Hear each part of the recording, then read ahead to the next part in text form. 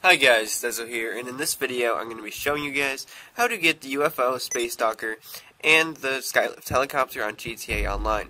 In the description of the video there's going to be a link to a game mode, and all you're going to have to do is go download the game mode and it'll be added to your jobs, and you go to Host Job, Bookmark Jobs, and it's under Deathmatch. Now all you need to do is start it up, you do need two people to start the game, so you and one other friend.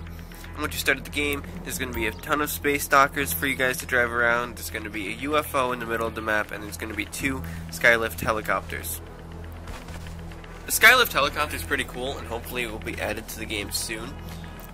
Also, Space Dockers are back now. You cannot put them in your garage, unfortunately. And you can't do anything with the Skylift helicopters, but you can have fun with this. You can set the timer to 60 minutes like I did. You can mess around with your friends for an hour.